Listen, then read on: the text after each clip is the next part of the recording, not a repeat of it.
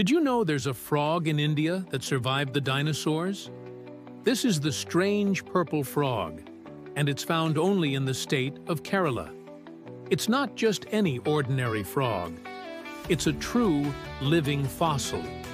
Its family lineage split from all other amphibians 130 million years ago during the Cretaceous period. That's when giants like the Spinosaurus and Velociraptor roamed the Earth.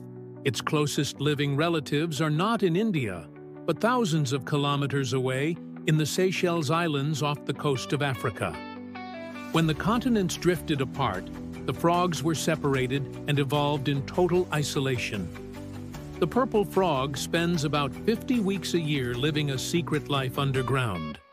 It uses its short, spade-like limbs to dig down as deep as 4 meters. It spends this time hunting termites with its long, fluted tongue. The frog only comes out for two weeks to breed. Can you guess what it sounds like?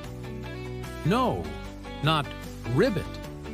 The male frog produces a loud, strange clucking sound that's exactly like a chicken.